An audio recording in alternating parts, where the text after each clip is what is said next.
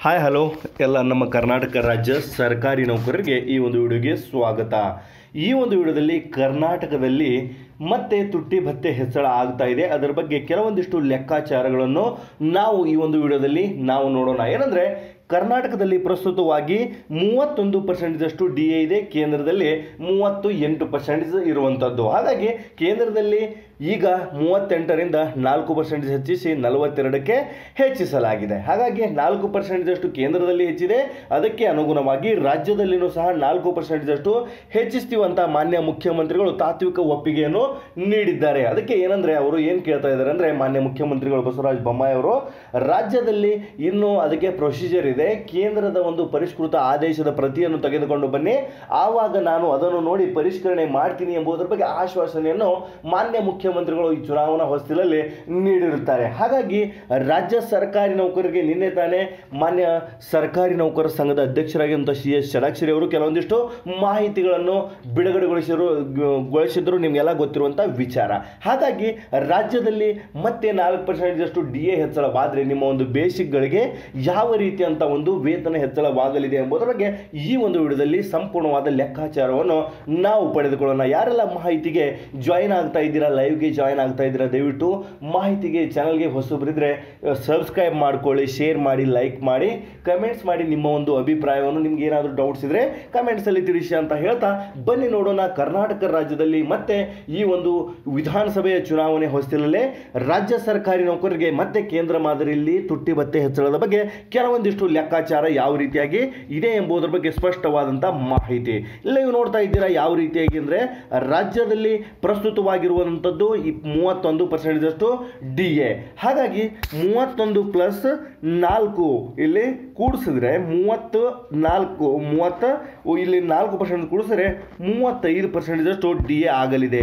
ಮೂವತ್ತೊಂದು ಪ್ಲಸ್ ಇಲ್ಲಿ ನಾಲ್ಕು ಕೂಡಿಸಿದ್ರೆ ಬರೋಬ್ಬರಿ ಎಷ್ಟಾಗುತ್ತೆ? ಮೂವತ್ತೈದು ಪರ್ಸೆಂಟೇಜಷ್ಟು ಡಿ ಎ ಆಗಲಿದೆ ಕರ್ನಾಟಕ ರಾಜ್ಯ ಸರ್ಕಾರಿ ನೌಕರರಿಗೆ ಇನ್ನೊಂದು ಹತ್ತರಿಂದ ಹದಿನೈದು ದಿನಗಳ ಒಳಗಾಗಿ. ಹಾಗಾಗಿ ಈ ಒಂದು ಲೆಕ್ಕಾಚಾರ ಇದು ಯಾವುದಕ್ಕೂ ಸಂಬಂಧವಿಲ್ಲ.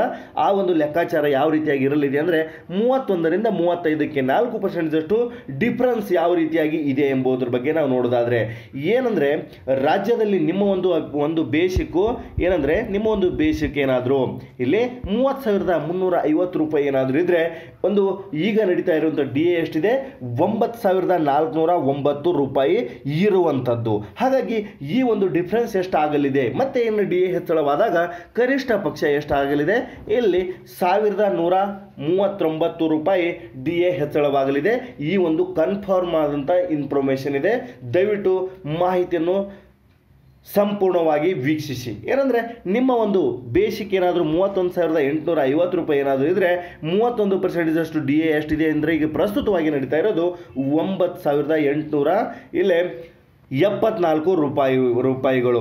ಇಲ್ಲಿ ಈ ರೀತಿಯಂಥ ಡಿ ಎ ಇರೋದನ್ನು ಎಷ್ಟು ಹೆಚ್ಚಳವಾಗುತ್ತೆ? ಹನ್ನೊಂದು ನೂರ ತೊಂಬತ್ತೈದು ರೂಪಾಯಿ ಹೆಚ್ಚಳವಾಗುವುದು. ನೆಕ್ಸ್ಟ್ ನಾವು ಸ್ಟ್ರೋಲ್ ಮಾಡ್ತಾ ಹೋದರೆ ಯಾವ ರೀತಿಯಾಗಿ ಮಾಹಿತಿ ಇದೆ ಅಂದರೆ, ಇಲ್ಲಿ ನಿಮ್ಮ ಒಂದು ಬೇಸಿಕ್ ಮೂವತ್ತೇಳು ಸಾವಿರದ ಒಂಬೈನೂರು ಏನಾದರೂ ಇದ್ದರೆ ಹನ್ನೊಂದು ಸಾವಿರದ ಏಳ್ನೂರ ಮೂ, ನಲವತ್ತೊಂಬತ್ತು ರೂಪಾಯಿ ನಿಮ್ಮ ಒಂದು ಡಿ ಎ ಆಗಿರುತ್ತದೆ ಸಾವಿರದ ನಾಲ್ಕುನೂರ ಇಪ್ಪತ್ತೊಂದು ರೂಪಾಯಿ ಕನಿಷ್ಠ ಪಕ್ಷ ನಿಮ್ಮ ಒಂದು ವೇತನ ಹೆಚ್ಚಳವಾಗಲಿದೆ. ಇದೇ ಒಂದು ತಿಂಗಳ ಒಳಗಾಗಿ ರಾಜ್ಯ ಸರ್ಕಾರಿ ನೌಕರರಿಗೆ ಗುಡ್ ನ್ಯೂಸ್ ಸಂಪೂರ್ಣವಾಗಿ ನೀವು ನೋಡ್ತಾ ಇದ್ದೀರಾ. ಮತ್ತೆ ಕೆಲವೊಂದಿಷ್ಟು ಬಹಳಷ್ಟು ಡಿಫ್ರೆನ್ಸ್ ಆಗಿ ನಿಮ್ಮ ಒಂದು ಬೇಸಿಕ್ ಹದಿನೆಂಟು ಸಾವಿರದಿಂದ ಇಲ್ಲಿ ಐವತ್ತು ಸಾವಿರ ರೂಪಾಯಿವರೆಗೆ ಯಾವುದೇ ಒಂದು ಬೇಸಿಕ್ ಇರಲಿ, ಕನಿಷ್ಠವಾಗಿ ಒಂಬತ್ತು ನೂರು ರೂಪಾಯಿಯಿಂದ ಇಲ್ಲಿ ಗರಿಷ್ಠವಾಗಿ ಮೂರು ಸಾವಿರ ರೂಪಾಯಿವರೆಗೆ ನಿಮ್ಮ ಒಂದು ಡಿ ಎ ಹೆಚ್ಚಳವಾಗಲಿದೆ ಎಂಬುದರ ಬಗ್ಗೆ ಇಲ್ಲಿ ಸಂಪೂರ್ಣವಾದ ಲೆಕ್ಕಾಚಾರ ಇದೆ. ಕರ್ನಾಟಕ ರಾಜ್ಯ ನಾಲ್ಕು ಪರ್ಸೆಂಟ್ದಷ್ಟು ಡಿ ಎ ಹೆಚ್ಚಳ ಮಾಡಿದಾಗ ಕನಿಷ್ಠ ಪಕ್ಷ ನಿಮ್ಮ ಒಂದು ಸಂಬಳದಲ್ಲಿ ಮುಂದಿನ ಸಂಬಳದಲ್ಲಿ ಮತ್ತೆ ಸಾವಿರದಿಂದ ಮೂರು ಸಾವಿರ ರೂಪಾಯಿವರೆಗೆ ಹೆಚ್ಚಿನ ಒಂದು ಸಂಬಳ ಬರೋದನ್ನು ನೀವು ನಿರೀಕ್ಷಿಸಬಹುದು. ಇಲ್ಲಿ ಮೂವತ್ತೈದು ಸಾವಿರದ ನೂರ ಐವತ್ತು ರೂಪಾಯಿ ಏನಾದರೂ ಬೇಸಿಕ್ ಇದ್ದರೆ ಹತ್ತು ಸಾವಿರದ ಎಂಟುನೂರ ತೊಂಬತ್ತೇಳು ರೂಪಾಯಿ ನಿಮ್ಮ ಒಂದು ಡಿ ಆಗಿರ್ತದೆ, ಮೂವತ್ತೊಂದು ಪರ್ಸೆಂಟೇಜಷ್ಟು ಹಿಡ್ಕೊಂಡ್ರೆ ಆ ಮೂವತ್ತೊಂದಕ್ಕೆ ನಾಲ್ಕು ಪರ್ಸೆಂಟೇಜಷ್ಟು ಹೆಚ್ಚಳ ಮಾಡಿದರೆ ಯಾವ ರೀತಿ ಆಗುತ್ತೆ ಅಂದರೆ ಹದಿಮೂರು ನೂರ ತೊಂಬ, ಹತ್ತೊಂಬತ್ತು ರೂಪಾಯಿ ಆಗುವಂಥದ್ದು. ನಾವು ಸ್ಕ್ರೋಲ್ ಆಗಿ ಮಾಡ್ತಾ ಹೋದರೆ ಯಾವ ರೀತಿಯಾಗಿ ಮಾಹಿತಿ ಇದೆ ಅಂದರೆ ಇಲ್ಲಿ ಸ್ಕ್ರೋಲ್ ಮಾಡಿದ್ರೆ ಲಾಸ್ಟಲ್ಲಿ ನೀವು ನೋಡ್ತಾ ಇದ್ದೀರಾ ಬಸ್ಟ್ ಎಂಟ್ರಿಗಳು ಇದ್ದಾವೆ. ಐವತ್ತು ಸಾವಿರದ ನೂರ ಐವತ್ತು ರೂಪಾಯಿ ನಿಮ್ಮದೊಂದು ಬೇಸಿಕ್ ಇದ್ದರೆ ಆ ಒಂದು ಬೇಸಿಕ್ಗೆ ಹದಿನೈದು ಸಾವಿರದ ಐದುನೂರ ನಲವತ್ತೇಳು ರೂಪಾಯಿ ಡಿ ಎ ಇರುತ್ತದೆ. ಈಗ ಪ್ರಸ್ತುತವಾಗಿ ನಿಮ್ಮ ಒಂದು ಲೆಕ್ಕಾಚಾರ. ಹಾಗಾಗಿ ಅದಕ್ಕೆ ಪ್ಲಸ್ ನಾಲ್ಕು ಪರ್ಸೆಂಟೇಜ್ ಮೂವತ್ತೈದಕ್ಕೆ ನೀವು ಏನಾದರೂ ನಿಮ್ಮ ಒಂದು ವೇತನ ಹೋಲಿಸಿದಾಗ ಸಾವಿರದ ಎಂಟುನೂರ ಎಂಬತ್ತೊಂದು ರೂಪಾಯಿ ಹೆಚ್ಚಳವಾಗುವುದು ಇಲ್ಲಿ ಮಿನಿಮಮ್ ಇದು ಯಾವ ರೀತಿಯಾಗಿ ಹೆಚ್ಚಳವಾಗ್ತಾ ಇದೆ ಅಂದರೆ ಒಂದು ಲಾಸ್ಟ್ ಎಂಟ್ರಿ ಇದೆ. ಐವತ್ತೈದು ಸಾವಿರದ ಮುನ್ನೂರ ಐವತ್ತು ರೂಪಾಯಿ ಏನಾದರೂ ಬೇಸಿಕ್ ಇದ್ದರೆ ಹದಿನೇಳು ಸಾವಿರದ ನೂರ ಐವತ್ತೊಂಬತ್ತು ರೂಪಾಯಿ ಡಿ ಎ ಪ್ರಸ್ತುತವಾಗಿ ನಡೀತಾ ಇದೆ ನಿಮ್ಮ ಒಂದು ವೇತನದಲ್ಲಿ. ಹಾಗಾಗಿ ಎರಡು ಸಾವಿರದ ಎಪ್ಪತ್ತಾರು ರೂಪಾಯಿ ನಿಮಗೆ ಈ ಒಂದು ನಾಲ್ಕು ಪರ್ಸೆಂಟ್ದಷ್ಟು ಡಿ ಎ ಹೆಚ್ಚಳ ಮಾಡಿದಾಗ ಸಿಗುವಂಥದ್ದು ನೆಟ್ ಅಮೌಂಟ್ ಮತ್ತೆ ನಿಮ್ಮ ಪ್ಲಸ್ ಆಗಿ ಬರುವಂಥದ್ದು. ಇಲ್ಲಿ ಸಂಪೂರ್ಣವಾಗಿ ನೋಡ್ತಾ ಇದ್ದೀರಾ, ಯಾವ ರೀತಿಯಾಗಿ ಮಾಹಿತಿ ಇದೆ ಎಂಬುದ್ರ ಬಗ್ಗೆ ಇಲ್ಲಿ ಸ್ಕ್ರೋಲ್ ಮಾಡ್ತಾ ಇದ್ದರೆ ಇಲ್ಲಿ ನಲವತ್ತೊಂಬತ್ತು ಸಾವಿರ, ನಲವತ್ತು, ಇಲ್ಲಿ ಮೂವತ್ತೊಂಬತ್ತು ಸಾವಿರ ಇದೆ, ನಲವತ್ತು ಸಾವಿರ ಇದೆ. ಇಲ್ಲಿ ಯಾವ ರೀತಿ ಅಂದರೆ ಗರಿಷ್ಠ ಮತ್ತು ಕನಿಷ್ಠ ಲೆಕ್ಕಾಚಾರ ಅಂದರೆ ಸಾವಿರದಿಂದ ಮೂರು ಸಾವಿರ ರೂಪಾಯಿವರೆಗೆ ನಿಮ್ಮ ಒಂದು ವೇತನಗಳಲ್ಲಿ ಹೆಚ್ಚಳವಾಗಲಿದೆ, ನಿಮ್ಮ ಒಂದು ಬೇಸಿಕ್ಗಳಿಗೆ ಅನುಗುಣವಾಗಿ. ಹಾಗಾಗಿ ಈ ಒಂದು ಡಿ ಎ ಯಾವ ರೀತಿ ಅಂದರೆ ಈ ಒಂದು ಡಿ ಎ ಈಗ ನಡೀತಾ ಇರುವಂಥದ್ದು ಮೂವತ್ತು ಒಂದು ಪರ್ಸೆಂಟೇಜಷ್ಟು ಅದಕ್ಕೆ ಪ್ಲಸ್ ನಾಲ್ಕು ಪರ್ಸೆಂಟೇಜ್ ಅಷ್ಟು ಮಾಡಿದ್ರೆ ಮೂವತ್ತೈದು ಪರ್ಸೆಂಟೇಜ್ ಮಾಡಿದಾಗ ಯಾವ ರೀತಿಯಾದಂಥ ಒಂದು ಲೆಕ್ಕಾಚಾರ ಇದೆ ಎಂಬುದರ ಬಗ್ಗೆ ಇಲ್ಲಿ ಸ್ಪಷ್ಟನೆಯನ್ನು ನೀವು ತಿಳ್ಕೊತಾ ಇದ್ದೀರಾ.